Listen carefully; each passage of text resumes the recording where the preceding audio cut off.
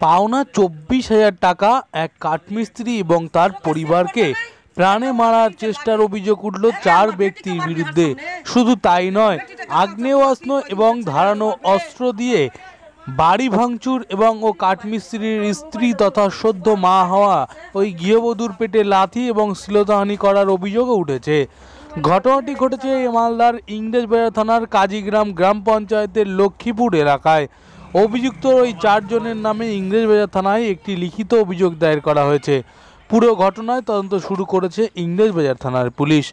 জানা গেছে ওই কাঠমিস্ত্রির নাম বদিরুদ্দিন শেখ, বাড়ি ওই এলাকাতেই। অভিযোগ, ব্যবসা সূত্রে স্থানীয় বাসিন্দা জামিনউদ্দিন শেখের কাছ থেকে নিরানব্বই হাজার টাকা নিয়েছিলেন বদিরুদ্দিন বাবু। সম্প্রতি সেই টাকার পঁচাত্তর হাজার টাকা পরিশোধ করে দেন তিনি। বাকি ছিল চব্বিশ হাজার টাকা। অভিযোগ, এই চব্বিশ হাজার টাকার জন্য বৃহস্পতিবার রাতে জামির উদ্দিন শেখের নেতৃত্বে অলিম শেখ, বাবলু শেখ এবং সাবির শেখ আগ্নেয়াস্ত্র এবং ধারালো হাসুয়া দিয়ে বদিরুদ্দিন শেখের বাড়িতে চড়া হয়। ভাঙচুর করা হয় বাড়িঘর। তার পাশাপাশি বদিরুদ্দিন শেখের স্ত্রী সদ্য মা হওয়া, রেশমি এবং পরিবারের বাকি সদস্যের মারধর করা হয়। এ বিষয়ে বদিরুদ্দিন শেখ জানান, সেদিন রাত্রে তিনি বাড়িতে ছিলেন না। এই সুযোগ সমাজ বিরোধী বলে অভিযোগ জামিরুদ্দিন শেখ সহ তার দলবল। তার বাড়িতে চড়া হয়, তার স্ত্রী এবং পরিবারের সদস্যদের মারধর করে। তার পাশাপাশি বাড়িতে ভাঙচুর চালায়। এই ঘটনার পর তারা ভিন, ভীত এবং আতঙ্কিত। তিনি আরও অভিযোগ করেন, তাকে প্রতিনিয়ত খুন করার হুমকি দেওয়া হচ্ছে। ভয় তিনি এবং তার পরিবার বাড়ির থেকে বের হতে পারছে না। এই ঘটনায় জামিরুদ্দিন শেখ, আলিম শেখ সহ মোট চারজনের নামে ইংরেজবাজার থানায় একটি লিখিত অভিযোগ দায়ের করা হয়েছে। এ বিষয়ে সদ্য মা হওয়া রেশমি বিবি জানান, পনেরো দিন হলেও তার সন্তান হয়েছে। ব্যবসা সূত্রে গণ্ডগোলের জেরে জামিরুদ্দিন শেখ সহ তার দলবল তাদের বাড়িতে চড়া হয় তার পেটে লাথি এবং বাড়িতে ভাঙচুর করে বলে অভিযোগ করেন তিনি।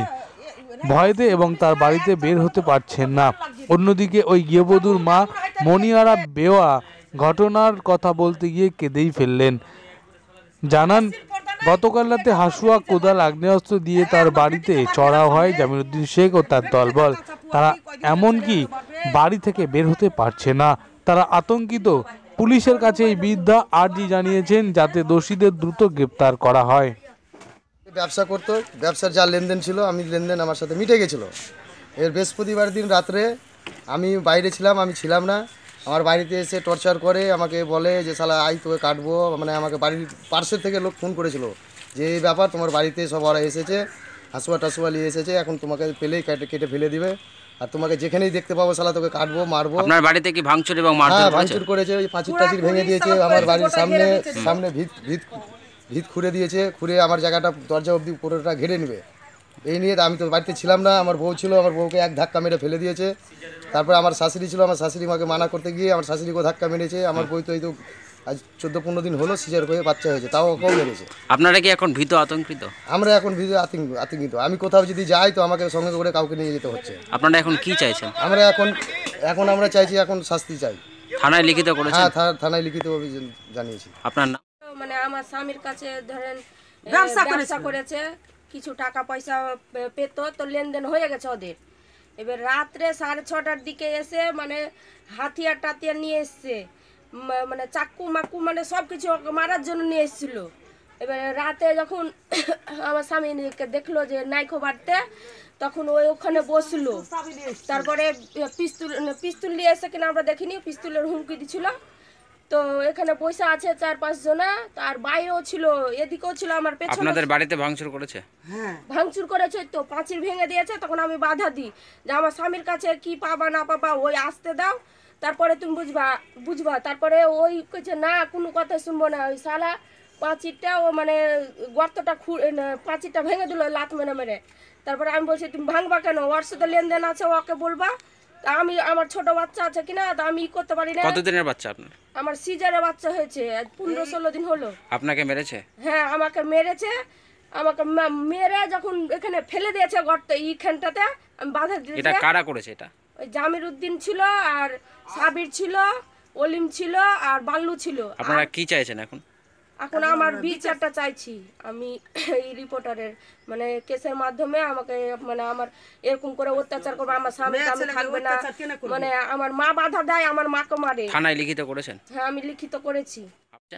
আমার মেয়েকে যখন এখানে রাত্রে বেলায় আসে আসে যখন এবারকার এই আমার জামাই থাকলে শেষ করে দেয়।